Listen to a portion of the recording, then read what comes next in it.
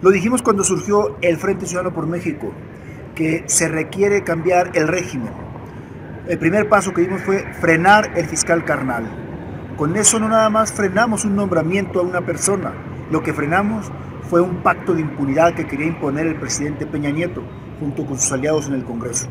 Hoy en el frente vamos a seguir dando la batalla para que desde el Congreso de la Unión podamos tener instituciones fuertes, sobre todo reformar el 102 constitucional para que haya una fiscalía que sirva, una fiscalía general de la República donde no haya pactos de impunidad, donde se combata en todos los niveles de gobierno, desde cualquier nivel jerárquico que tenga el servidor público y cualquier color o no tenga color partidista. En este país lo que se requiere es combatir la corrupción y la impunidad.